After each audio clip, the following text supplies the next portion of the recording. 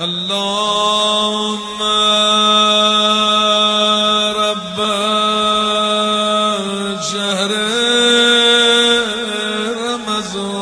رمضان الذي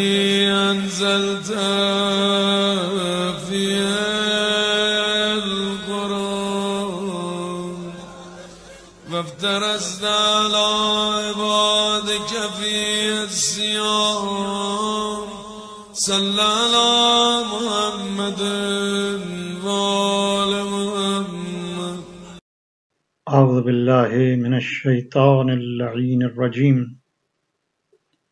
بسم الله الرحمن الرحيم.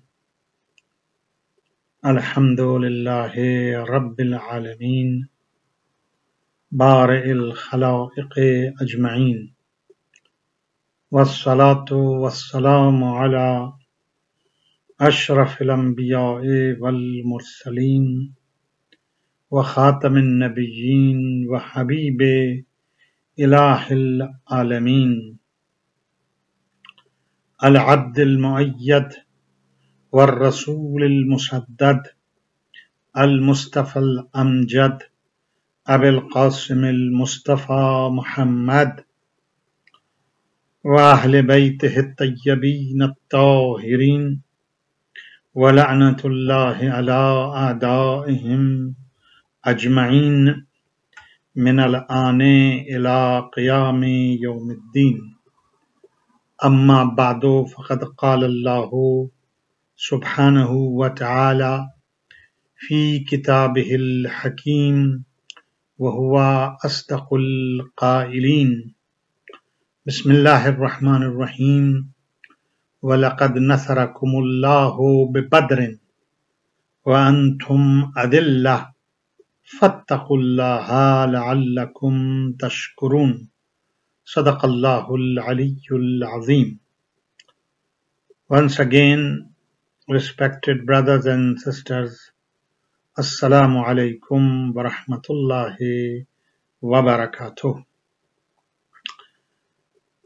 Tonight is night of 17th of Rabi Ramazan al Mubarak. Another critical night in the history of Islam. Another crucial turning point in the history, in the early history of Islam. This night is so important that Quran speaks about it. And this day, which is tomorrow, is so crucial, so important that Quran repeatedly, not once, repeatedly speaks about it and reminds us even after passing the date of this particular day. And also demands from us to learn some very crucial and important lessons from this particular event incident in the early history of Islam. I am referring to, of course, Battle of Badr, which took place on 17th of Ramadan, second year after Hijrah. And of course, uh, my approach is inshallah tonight to reply one or two questions in connection with Battle of Badr, which is very much source of confusion and also excuse in hands of enemies to portray Islam, an early Islamic movement or movement of Islam in negative light. And also, of course, we'd like to, you know, have a glance, have a little understanding of some very, very important lessons, some very crucial fibers which are present in this particular incident and Quran also insists on those aspects of Badr and reminds us to remember those incidents. Okay, quickly, very uh, quick, I would like to, uh, you know, narrate for you the story of the Battle of Badr.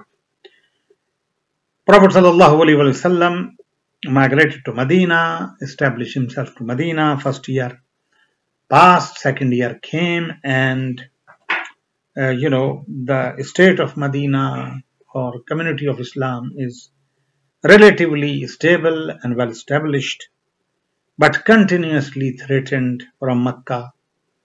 And those who are left behind in Mecca are always target of Kuffar and Quraysh. And similarly, they use all the means and all the canals and resources on their disposal to defeat Islam, even if it is not even in their city. They don't allow anyone in Mecca to accept Islam or to migrate toward Medina and so on and so on. Uh, so a cold war is going on behind the scenes and that is a really a serious concern for the future of this newly established state of Islam in Medina. In this regard, the way most of the writers of history or historians have recorded is like that that Prophet came to know that Abu Sufyan is coming from Syria with a very huge caravan of business with a lot of assets and money and so on. And of course, he is going to pass nearby Medina. And Prophet ﷺ decided to attack on this caravan, this trade caravan, and take over their belongings and assets because they will be used for fight against Islam while they have taken our money, our assets and do not allow anybody who wants to come to Islam in Mecca and they are under terrible pressure of the same Quraysh. And therefore as a strategy Prophet ﷺ decided to go and capture this particular business, you know, uh, caravan or trade caravan.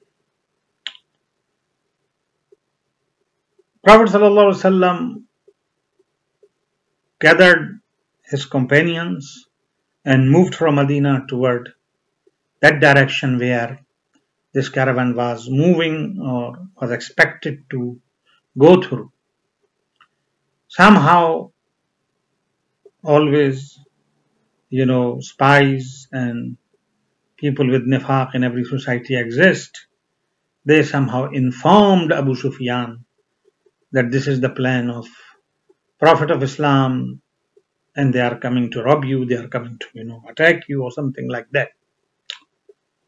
As soon as he realized or he got this news, he sent from a, he changed first of all his uh, direction and his route and decided to go a very bad route or route which is in fact in the direction of opposite, opposite to Makkah and at the same time he sent a quick messenger to Mecca and called them for help and the situation is very serious and critical. The messenger arrived in Mecca and created a big scene there. I'm not going in those details. A lot of drama took place there, but then they could manage to besiege, you know, almost or uh, recruit almost thousand people. Among them, almost all the leaders an elite of Makkah uh, with 700 camels and over 100 you know horses and weapons under the commandship of Abu Jahl. Prophet ﷺ also with a small number of people 313 uh, of his companions and supporters reached to a area called Badr.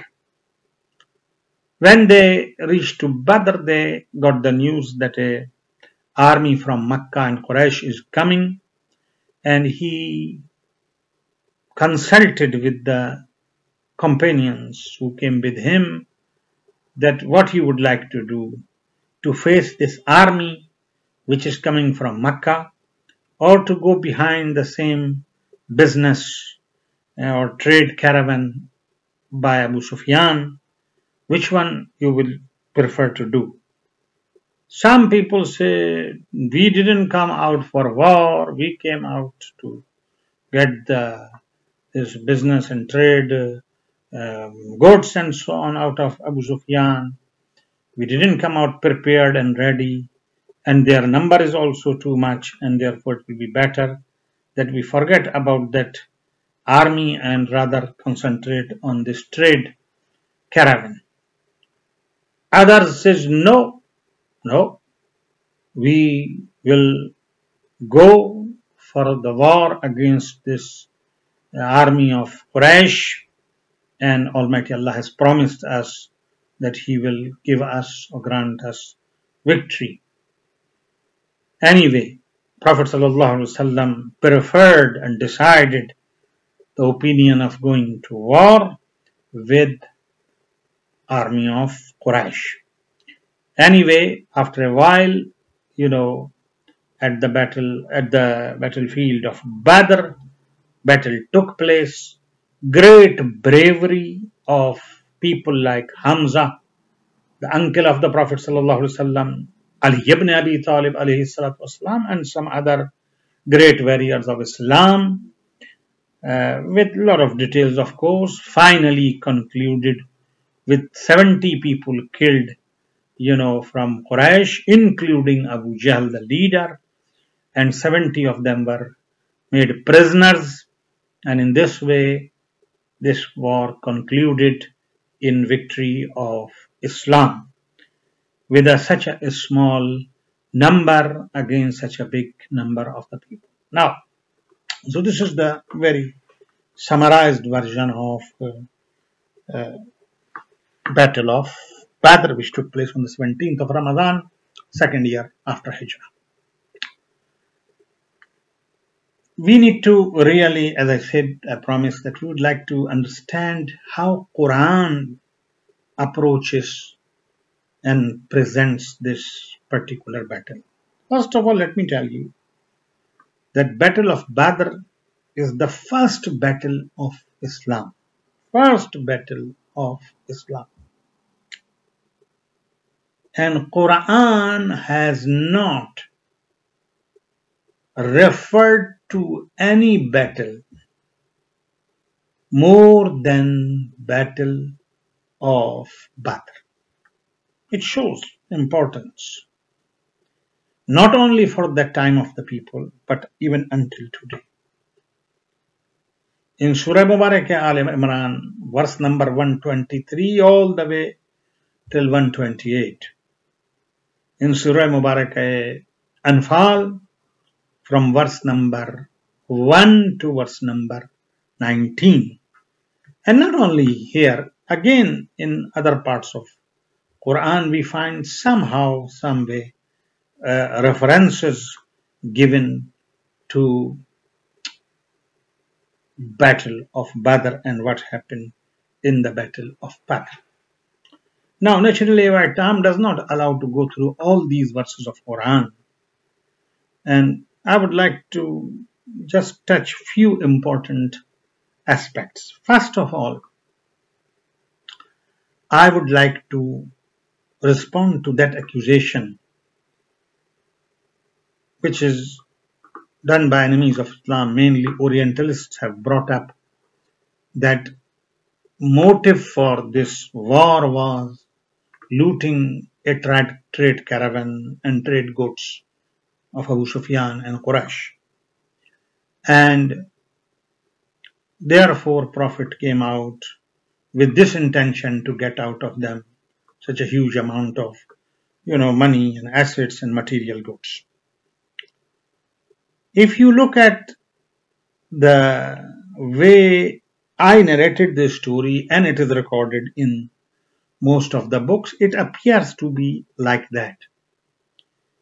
But when we look at Quran itself and various verses of Quran, of course, which are much more reliable than the way uh, these narrations are recorded, we understand the story is different. Of course, our ulama, of mufassirin of Quran, defended even in the light of the same Uh, narration which I or narrative which I have given you, and trying to say that it was justified. It was a preemptive, you know, action by Prophet sallallahu and wanted to cut their because their danger was a constant danger. It's not that Prophet ﷺ left Mecca and now people of Mecca and Quraysh of Mecca now they were not worried about Prophet ﷺ or Islam and they let them to live freely and easily and relaxed. It was not the case. There was not a single day when the Quraysh of Mecca were not thinking how to destroy Prophet Muhammad and his campaign and his movement and Islam and Muslims. There was not a single day where they did not torture the people in Mecca who were inclined toward Islam. Even these people who came out in the Badr, Uh, as I said, I did not get a time to explain to you, but they were, big number of them were basically forced to come on the, for the battle of Badr. Some of them didn't want to come, but they were forced. So, so this was the scenario, and in this background, it was necessary to attack on the lifeline of these leaders of Quraysh, which was financial, which was economical, and they were depending on these type of trade between Syria and Mecca to be cut, to be disconnected and make them weak so they do not attack and worry with the Muslims and Islam's. Islam which was newly established and newly starting to propagate and expand. Number of other justifications have been given. But my point humbly is this that in fact a lot of scholars also came to these conclusions that historians just narrate the series of incidents uh, the way it took place but they do not understand the connection between these two between different incidents yes prophet came to know about uh, Quraysh uh, caravan and trade caravan coming under Abu Sufyan. Yes, Prophet ﷺ did consult companions between two of them. But what was the motive of the Prophet ﷺ as Quran explains is something else. Quran very very clearly says in Surah Mubarakah Anfal وإذ يعدكم الله أحد الطائفتين أنها لكم وتودون أن غير الصوت الشوكة تكون لكم ويريد الله أن يحق الحق بكلماته ويقطع دابر الكافرين And when Allah promised you وإذ يعدكم الله وعد victory over one of the two groups two uh, ta'ifa, two groups, two companies. It is for you. Annahalakum. Watauddun. You were eager. You were eager. Now, who were eager? It is referring to a group of people who were not ready to go to war. Now, that's another very interesting aspect in Battle of Badr. Battle of Badr, as I said, is early, of the first battle of Islam, very early days of Islam.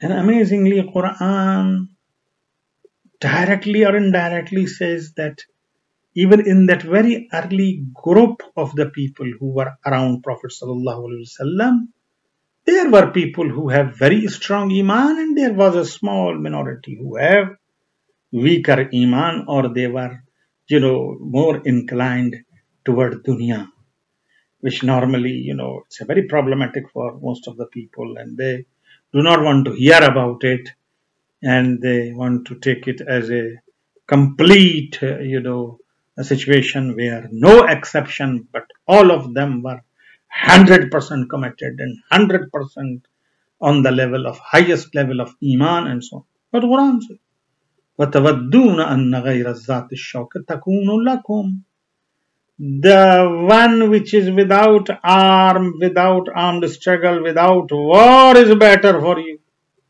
But Almighty Allah subhanahu wa ta'ala wanted something else. ويريد الله أن يحق الحق بكلماته ويقطع دابر الكافرين No desire of Almighty Allah subhanahu wa ta'ala is, in other words, from the very first time, it was just an excuse. The first issue was to cut Dabir al Kafirin, to root out the faithless, the kuffar and attack on them in a manner, in a preemptive way, that they should not again even think of attacking on Medina and putting pressure on the new Muslims in Mecca and creating regular problems through their spies and with the help of Jews of Medina and so on. This is very clear and therefore number of research scholars have given this opinion that no, the purpose of the Prophet ﷺ was not trade goods which Abu Sufyan was carrying.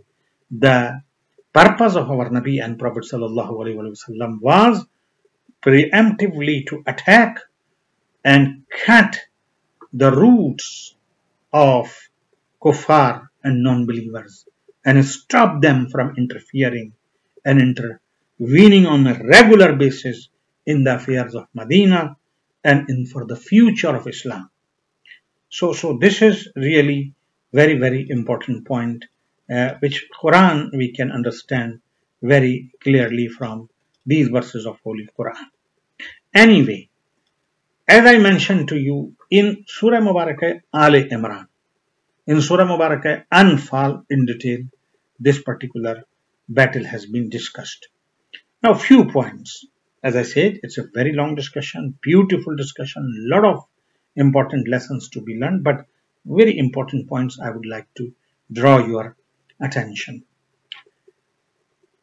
Amazingly, as you know that after battle of Badr, battle of Uhud took place, which unfortunately ended up in a very uh, sad situation, not in a, such a great situation, martyrdom of Hamza and so on and so on. Details you know. Somehow, sort of a defeat for Muslimin. Here, amazingly, in Surah Mubarakah Ali Imran, analyzing the situation of Ummah in or after Uhud, says, وَلَقَدْ نَصَرَكُمُ اللَّهُ بِبَدْرٍ وَأَنْتُمْ أَزِلَّةٌ فَاتَّقُوا اللَّهَ لَعَلَّكُمْ تَشْكُرُونَ Very, very important lesson Almighty Allah subhanahu wa ta'ala gives. Here in Uhud, you were in good numbers, much more well prepared and equipped, but you lost it. But Almighty Allah subhanahu wa ta'ala helped you at Badr wa antum azilla and you were utterly weak. You were in a very weak position. Beware then of Allah have taqwa of Allah. Be conscious of Allah. You, perhaps you will be thankful. Very important reminder. Don't look at number. كم من فئة قليلة غلبت على فئة كثيرة. How many times a small number of people has taken over, has been victorious over huge number of people. I think about it. You were Adillah in Badr, but Allah helped you. So why that same Allah did not help you here. Question. This is a thinking point. Allah's help is always there. Muslims are also there. Leadership of the Prophet sallallahu alaihi wasallam. more than that you want is there. In Badr and Uhud. Why Almighty Allah subhanahu wa ta'ala did not rescue them and help them in Uhud but help them in Badr. Remember, Wattaqullah, Allah's taqwa. Surely it is referring that when you don't have taqwa, don't expect that Allah also will help you. When you are divided, Allah also will not help you. Very, very crucial message. Yes, even in Battle of Badr, as I just now mentioned, at the earlier stages, before going to the battle, there were two opinions. There were people who were very much interested in trade goods, uh, without mentioning their names. But then there were people, majority of them, very committed, very, very much loyal to the Prophet, sallallahu and the rest also joined them after Prophet made a decision. All of them accepted wilayat of the Nabi and Prophet sallallahu alaihi wasallam. When they were under the wilayat of Nabi, wilayat of Waliullah, then of course even with the smallest number, one third of kuffar, without preparation, 313 in response to almost thousand without equipment, without arms, without weapons. Quran says, but we help them. If you have taqwa, if you are united, if you are not seeking dunya, Allah will help you. And Allah helped you. Allahu Akbar. And then, of course, you know, it goes in further detail. I don't want to now go in those details. Surah Mubarak Anfal, earlier verses of Surah Mubarak Anfal speak about, you know, ghanima or the booty or mm, the, the, the, things which you uh, take over after the um, our enemies are gone and it is called booty and it must be you know distributed among the people. And of course there was some sort of a difference of opinion and Quran speaks about it again very beautifully. In this middle of all this discussion about battles, about unity, about taqwa, about acceptance of wilayat of leadership and being together, about not loving dunya but being ready for jihad and offering your life for the sake of Allah and not being scared from death in all in this whole scenario, all of a sudden Almighty Allah subhanahu wa ta'ala in between from verse number 2, 3, 4, you know, starts giving beautiful definition and attributes of believers. إنما المؤمنون الذين إذا ذكر الله وجلت قلوبهم وإذا تلعت عليهم آياته زادتهم إيمانا وعلى ربهم يتوكلون الذين يقيمون الصلاة ومما رزقناهم ينفقون أولئك هم المؤمنون حقا لهم درجات عند ربهم ومغفرة ورزق كريم Okay, I do not want to take that discussion tonight here, but this is itself beautiful discussion. Five very crucial and key qualities of believers are um, discussed. In fact, one of the qualities is very connected to our uh, discussion last night about health of heart and disease of heart.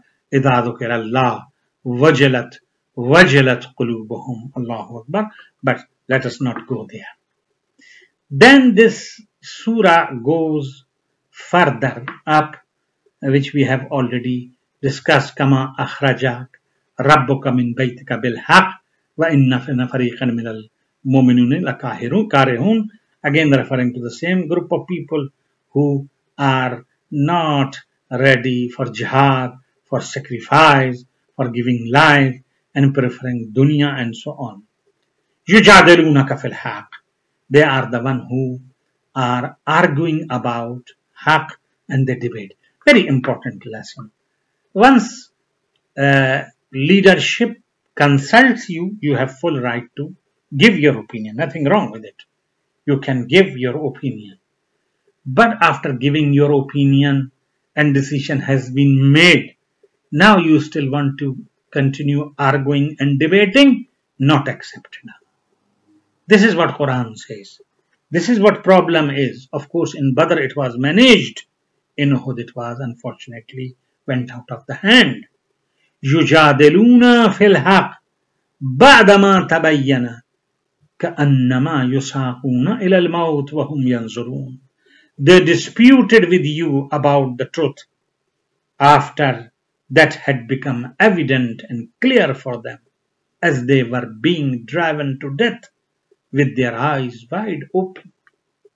Allah Akbar. And then, of course, the same verse which I have explained to you comes, which explains that the whole philosophy and reason for the battle of Badr was not trade goods of Quraysh, but it was preemptive strike on conspiracies and plans of Quraysh before the attack. Before the attack, sometimes then it is nothing wrong in all uh, world and politics and everywhere between two groups and two countries and two nations who are in war between each other, who are fighting with each other or enemies with each other, sometimes preemptive strikes are necessary to protect a possible attack on them. Anyway, as I explained to you, then comes another very, very extremely crucial and important issue in Battle of Badr, which is again referred in Quran repeatedly, not once. Allahu Akbar. Night is night of 17th of Rabi'ul, uh, 17th of Ramadan, and this night really reminds us of this particular verse number 9 of Surah Mubarakah Anfal, where Almighty Allah subhanahu wa ta'ala says, let me recite for you, استستغيثون ربكم فاستجاب لكم أني ممدكم بألف من الملائكة مردفين and when you appealed to your Lord for help he answered you, I will aid you with a thousand angels in a line, in a file. This verse and the verse after that is speaking about divine intervention. Very, very important. It was a night like tonight. Now Prophet has decided we are going to war we are going to jihad. We are going to clash with Quraysh tomorrow. With no preparation apparently. With extremely small in number. Allahu Akbar. 313 in competition in contrast to over 1000 well equipped people. Allahu Akbar. You know, in other words, in the eyes of normal people, winning this war was almost impossible. Almost impossible. No way they can win this war. And it is in this night when stress is there, when tensions are there in the camp, how we going to face in this very tense difficult situation, you know, they raise their hands for dua. Allahu Akbar.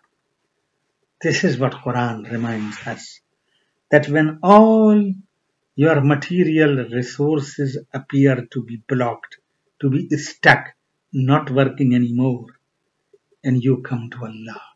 Istastaghi إذا تستغيثون Rabbakum. And when you will istastaghithuna Rabbakum. And when you will or you appealed to your Lord. In this night, Prophet ﷺ, along with his companions, raised his hand. Wallah, Wallah, help us. Help us in this battle. We are so little in number. Amazing dua Prophet ﷺ made brothers and sisters. Amazing. Amazing sentence he used. He said, Ya Allah, if this small number of people killed tomorrow there will be no one left to worship. Allah. No one will be left to worship. You are the one who can help them. But because they have unity, because they have taqwa, because they have trust in Allah, Almighty says, you know, we came to help you. Hmm, Nasrullah wa Badrin. Allah helped at the battle and said, angels, thousands of angels will come to support you tomorrow. You are worried about numbers, thousands of angels will be with you tomorrow in the battlefield. Then in the next verse amazingly says, وَمَا جَعَلَهُ اللَّهُ إِلَّا بُشْرَى لَكُمْ But by the way, you know, this angels and all this will come and help you. This is just to you to be satisfied and happy. Otherwise, وَمَن نَصْرُ إِلَّا مِنْ اللَّهِ Victory is from Allah. these means angels, this way, that way, these are nothing. If Allah wants to do, can do it. Victory belongs to Allah subhanahu wa ta'ala. And then the, I can see the time is almost past. The following verses also speak about different, you know, uh, divine interventions which came and which resulted in victory of Islam and defeat of enemies. And that was the day when Quran says, Mu'mineen were really happy, happy, pleased, farah. You know. Now, one or two important brothers and sisters lessons to learn here is that divine interventions imdad ghaibi, divine help is a reality, is a fact. Almighty Subhanahu, you know, Almighty Subhanahu wa Ta'ala has established this world and this universe, I have repeatedly said, based upon cause and effect, based upon system, uh, through natural cause and effect, things happen and took place. That's how Almighty Himself created this world and established. But it does not mean that there is no exception. It does not mean that there is no divine inter- intervention and help. No! Divine intervention is a crucial component in any victory, in any success. Yes, this is what Battle of Badr is, you know, reminding us in all these verses as a time did not allow. Immediately, even after mentioning uh, Malaika, which is itself a divine help, again says, even this Malaika are for you to be happy and satisfy your heart. Victory really belongs to Allah. Divine, divine intervention. How it comes, this divine intervention, in different ways.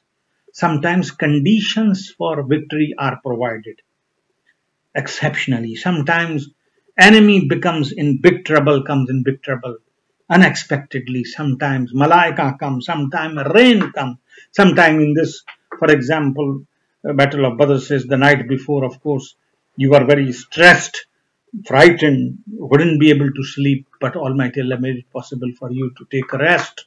And the rain which came, for example, it's all help of Allah. These all divine interventions. So, very important lesson that we are supposed to try whatever we can try through our normal means and efforts and energies. But remember, وَمَن نَصْرُ إِلَّا مِنْ Final victory without help and support of Allah is not possible.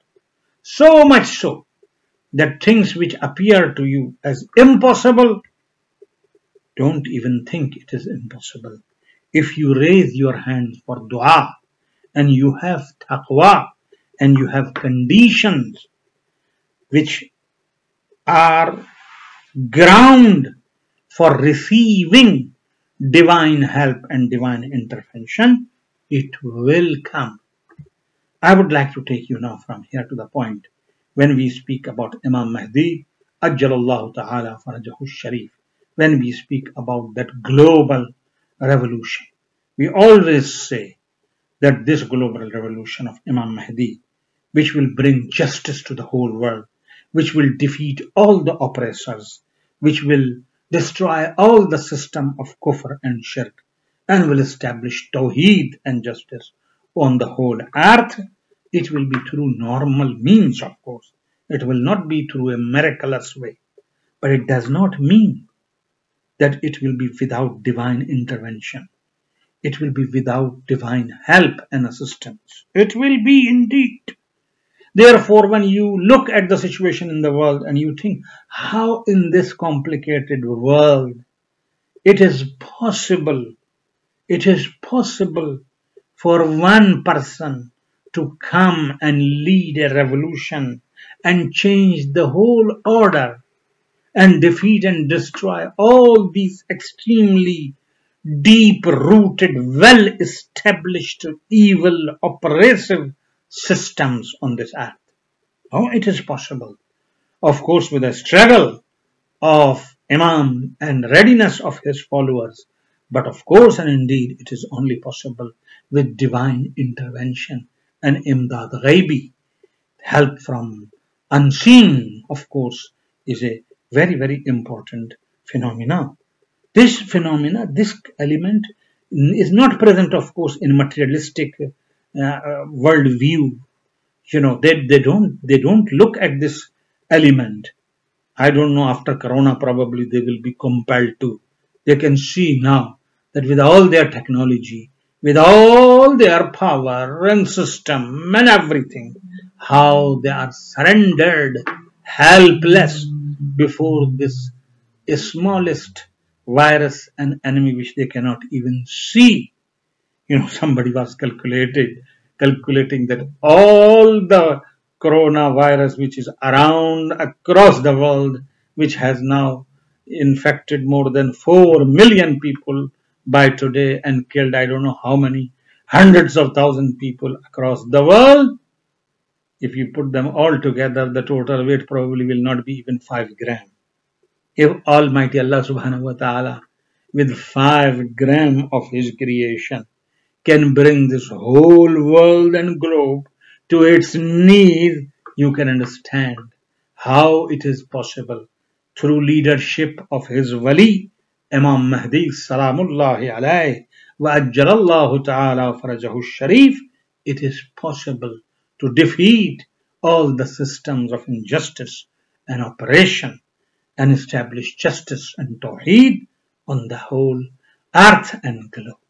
Divine intervention is a reality. Of course, that example of Imam Mahdi, Salamullahi alayhi, which I gave, is the peak, is the climax. But even in our day to day life, we cannot ignore this very important reality, you know, that Almighty Allah subhanahu wa ta'ala rescue us, helps us, divine interventions do happen in various situations and conditions.